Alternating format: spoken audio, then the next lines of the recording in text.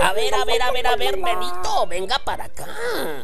¿Para dónde va tan contento? ¡Oh, abuelito! Es que te cuento que estoy estrenando mascota. ¡Oh, qué maravilla! Sí, sí, sí, sí, sí.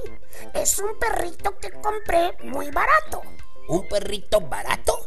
¿Y por qué barato? Es que me lo vendieron barato porque no tiene patas. vaya, vaya, un perro sin patas. ¿Cómo será el asunto? Eh, ¿Y cómo se llama tu perro que no tiene patas? No, no le puse nombre. ¿Para qué? De todas maneras uno lo llama y no viene.